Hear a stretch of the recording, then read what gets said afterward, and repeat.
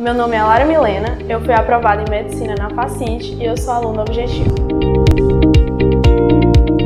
Eu quero ser médica porque eu acho que é uma profissão que transforma a vida das pessoas, ajuda a gente a ser mais humano, a se aproximar mais da realidade. O meu melhor amigo estudou aqui e ele faz medicina hoje em dia então ele foi uma inspiração para mim, por isso eu escolhi o Objetivo. O Objetivo é muito mais que uma escola, ele é um ambiente de família.